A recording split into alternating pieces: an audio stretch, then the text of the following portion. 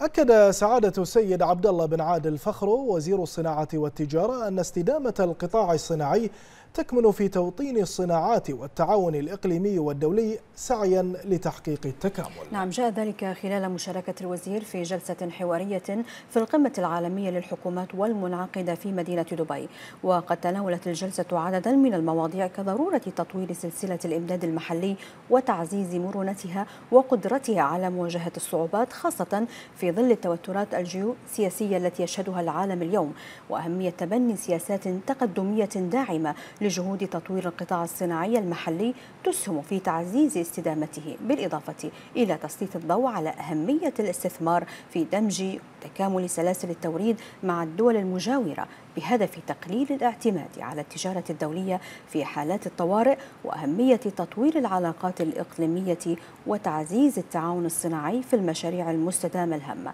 بين سعادة الوزير أن مملكة البحرين اتخذت عددا من التدابير لمواجهة التحديات العالمية التي واجهت سلاسل الإمداد عبر وضع خطط على المدى القريب والبعيد.